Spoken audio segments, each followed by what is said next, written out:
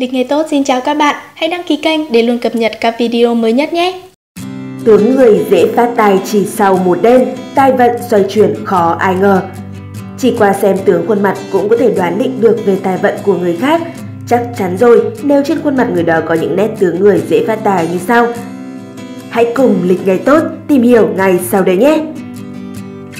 Các bạn đang theo dõi video trên kênh Lịch Ngày Tốt, hãy đăng ký kênh, thích, bình luận, chia sẻ và nhấn vào biểu tượng chuông để nhận thông báo về video hay và mới nhất nhé! Mắt mày thành tú, ánh mắt sáng, có thân Xét về tiếng người dễ phát tài, không thể không nhắc đến ánh mắt của họ. Ở người này có sự cuốn hút ngay từ ánh nhìn đầu tiên bởi ánh mắt của họ rất sáng và có thần thái riêng. Để giữ tài lộc được bền vững thì họ còn có mắt mày thành tú, trên gương mặt hầu như không có vết gì, lông mi thường dài, mắt dài và sâu, đôi mắt sáng, tĩnh lặng, không dễ đoán định tâm tình. Người có nét tướng này thường là người khá kín đáo, có năng lực nhưng không vì thế mà khoe khoang, hoành hoang. Họ có ý chí kiên cường, đã quyết tâm làm gì là phải làm cho bằng được. Phúc báo cao dày, họ thường là người mẫn tiệp, thông minh. Việc kiếm tiền hoàn toàn dựa vào chính năng lực của bản thân khi tìm kiếm được những thời cơ phát tài hiếm có, chứ không phải chờ đợi may mắn ghé thăm. Chán đầy đặn, khí sắc tươi nhuận, theo nhân tướng học, vùng trán chính là vị trí của thiên đình, còn gọi là cung quan lộc, quyết định nhiều đến tài vận của một người.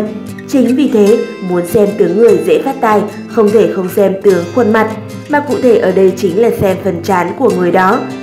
Nếu người ấy có phần trán đầy đặn, khí sắc lại tốt, da rẻ hồng nhuận, tươi sáng, thì điều đó chứng tỏ họ có đầu óc lành lẹ, linh hoạt và tư duy nhanh. Người này đang vào vận tốt dễ gặp nhiều điều may mắn, có nhiều thuận lợi, cơ hội để vượt trội hơn hẳn những người khác, công danh thăng tiến mà tài lộc thì dồi dào, sung túc. Tài to mà dày, dái tay tròn nhẵn nhiều thịt. Có thể nói, tai có mối quan hệ mật thiết với hệ thống nhật tạng trong cơ thể của con người.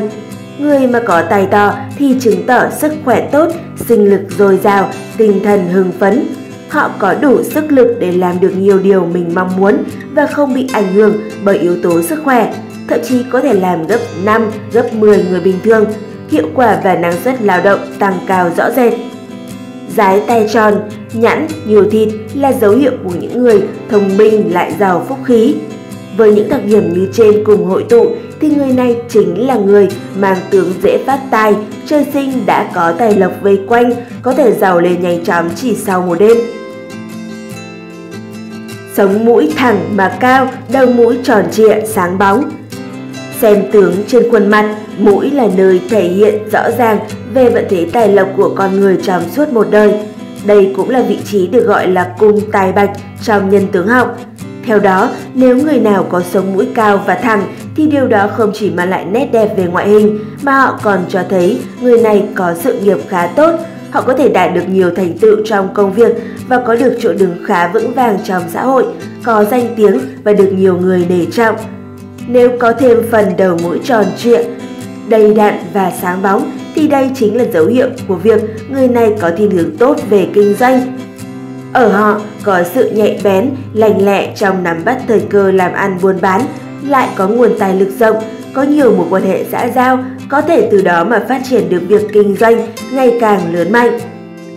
Với những thế mạnh như vậy, người có tướng mũi này tài vận khá lý tưởng, chuyện phát tài phát lộc với họ thực sự quá đơn giản, chỉ là chờ đợi thời cơ thôi, chứ bản thân chẳng lúc nào thiếu tiền trong túi. Cảm ơn các bạn đã theo dõi chương trình của Lịch Ngày Tốt. Chúc các bạn gặp nhiều may mắn, hạnh phúc và thành công trong cuộc sống. Đừng quên đăng ký kênh để luôn cập nhật các video mới nhất nhé. Hẹn gặp lại các bạn trong những chương trình lần sau.